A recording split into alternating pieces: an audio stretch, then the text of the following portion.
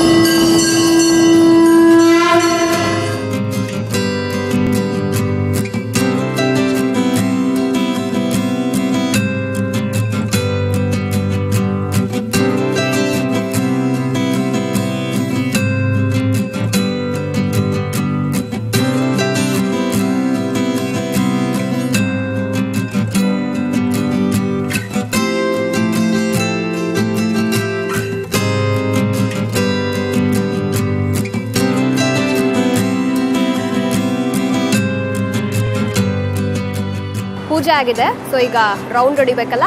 ಬನ್ನಿ ರೌಂಡ್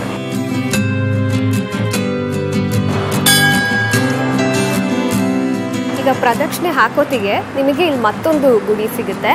ಶ್ರೀ ಜೈ ಸಂತ ಸಂತೋಷಿಮಾ ಸೊ ತಾಯಿ ಅಮ್ಮನವ್ರ ಒಂದು ಗುಡಿ ಸಿಗುತ್ತೆ, ಸಂತೋಷಿಮಾ ದೇವಸ್ಥಾನ.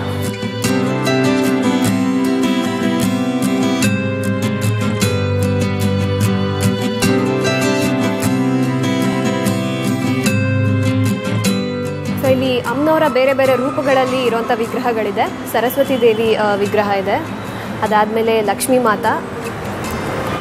ಆ್ಯಂಡ್ ಇದು ಶ್ರೀ ಸಲಾಸಾರ್ ಬಾಲಾಜಿ. ಹಾಂ ಸೊ ನಂಗೆ ಅಲ್ಲಿ ಸ್ಟಾರ್ಟಿಂಗಲ್ಲಿ ಹೇಳಿದರು ಮೂಲ ವಿಗ್ರಹ ಬಂದು ಅಲ್ಲೊಂದು ಬಾಲಾಜಿ ವಿಗ್ರಹ ಅಂತ ಒಂದಿದೆ ಅಂತ. ಸೊ ಆ ಒಂದು ವಿಗ್ರಹ ಕೂಡ ಇಲ್ಲಿದೆ ಆಮೇಲೆ ಮಾ ಅಂಬೆ. ನಾವು ದುರ್ಗಾದೇವಿ ಅಂತ ಏನು ಪೂಜೆ ಮಾಡ್ತೀವಿ ಅಥವಾ ಚಾಮುಂಡೇಶ್ವರಿ ಅಂತ ಏನು ಪೂಜೆ ಮಾಡ್ತೀವಿ.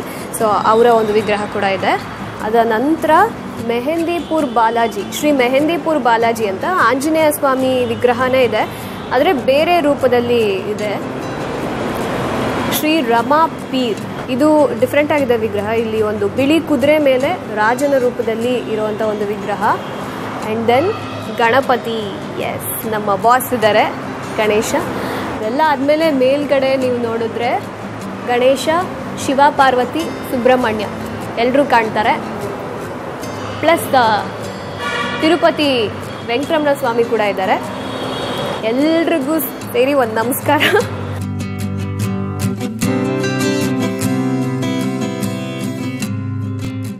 ಇಲ್ಲಿ ಯಾವುದೇ ಐಡಲ್ಸ್ ನೋಡಿದ್ರು ನೀವು ಅಬ್ಸರ್ವ್ ಮಾಡಿದ್ರೆ ನಾರ್ತ್ ಇಂಡಿಯನ್ ಸ್ಟೈಲಲ್ಲಿದೆ ವಿಗ್ರಹಗಳೆಲ್ಲ. ಆ್ಯಂಡ್ ಇಲ್ಲಿ ಈ ದೇವಸ್ಥಾನದ ಹೆಸರಲ್ಲೇ ಇದೆ ಶ್ರೀ ಮಾರುತಿ ಸಾಯಿ ದೇವಾಲಯ ಅಂತ. ಸೊ ಸಾಯಿಬಾಬಾ ಇಲ್ಲಿದ್ದಾರೆ ಸೊ ನಾವು ಈಗಿರೋದು ಸಾಯಿಬಾಬಾ ಮಂದಿರದಲ್ಲಿ. ಸೊ ಟೈಟಲ್ ಅಲ್ಲೇ ಇರೋ ಹಾಗೆ ನಾನು ಆಗಲೇ ಹೇಳಿದೆ, ದೇವಸ್ಥಾನದ ಹೆಸರಲ್ಲೇ ಇರೋ ಹಾಗೆ ಶ್ರೀ ಮಾರುತಿ ಸಾಯಿ ಧಾಮ ದೇವಸ್ಥಾನ ಅಂತ ಹೇಳ್ತಾರೆ. ಸೊ ಸಾಯಿರಾಮ್ ಇಲ್ಲಿದ್ದಾರೆ.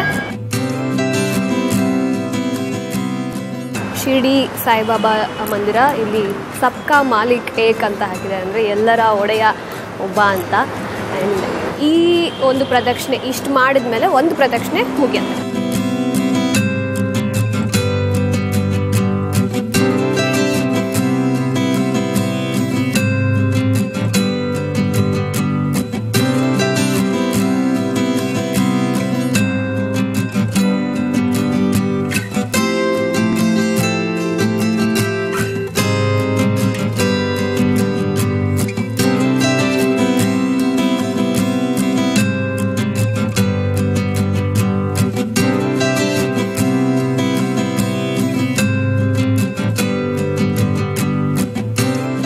ಸವಾರಿನಲ್ಲಿ ಇವತ್ತು ಮಾರುತಿ ದರ್ಶನಕ್ಕೆ ಬಂದಿದ್ದೀವಿ. ಸೊ ಇಲ್ಲಿರುವಂಥ ಮಾರುತಿಯ ಬಗ್ಗೆ ನನಗೂ ಸಿಕ್ಕಾಪಟ್ಟೆ ಇನ್ನೂ ತಿಳ್ಕೋಬೇಕು ಅಂತ ಇಂಟ್ರೆಸ್ಟ್ ಇದೆ. ಸೊ ಅದನ್ನ ತಿಳ್ಕೊಳ್ಳೋದಕ್ಕೆ ಒಳ್ಳೆ ವ್ಯಕ್ತಿ ನಮ್ಮ ಜೊತೆ ಇದ್ದಾರೆ. ಸೊ ಅರ್ಚಕರು ಇಲ್ಲಿದ್ದಾರೆ. ಬನ್ನಿ ಅವ್ರ ಹತ್ರ ಮಾತಾಡ್ಸೋಣ. ನಮಸ್ತೆ ಸರ್. ನಮಸ್ಕಾರ ತಮ್ಮ ಹೆಸರು?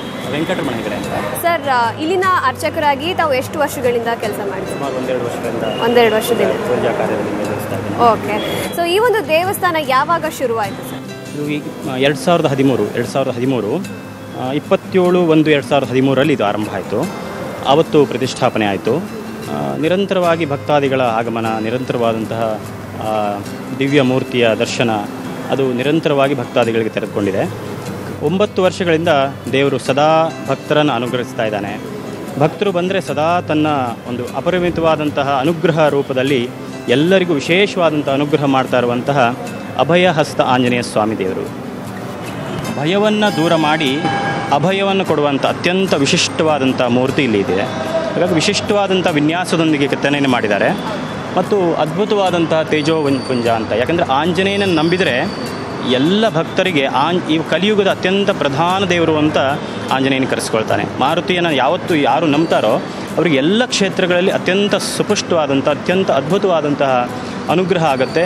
ಅವರಿಗೆ ವಿಶೇಷವಾದಂತಹ ಒಂದು ಭವಿ ಭವಿಷ್ಯದಲ್ಲಿ ಅದ್ಭುತವಾದಂಥ ಒಂದು ಬೆಳವಣಿಗೆ ಆಗತ್ತೆ ಅಂತ ಈ ಈ ಕಲಿಯುಗದ ಮಹಿಮೆ ಕಲಿಯುಗದಲ್ಲಿ. ಹಾಗಾಗಿ ಈ ನಾ ಈ ಮಾರುತಿಯನ್ನು ಯಾರು ನಂಬ್ಕೊಂಡು ಬರ್ತಾರೋ ಎಲ್ಲರಿಗೂ ಅದ್ಭುತವಾದಂಥ ಪರಿಣಾಮಗಳಾಗಿದೆ ಅದ್ಭುತವಾದಂಥ ಬೆಳವಣಿಗೆಗಳಾಗಿದೆ ಅಂತ ನಾನು ಹೇಳಲಿಕ್ಕೆ ಇಷ್ಟಪಡ್ತೀನಿ. ಆ್ಯಂಡ್ ಈ ವಿಗ್ರಹದ ಬಗ್ಗೆ ಮಾರುತಿ ದೇವರ ವಿಗ್ರಹ ಏನಿದೆ ಅದ್ರ ವಿಶೇಷತೆ ಬಗ್ಗೆ?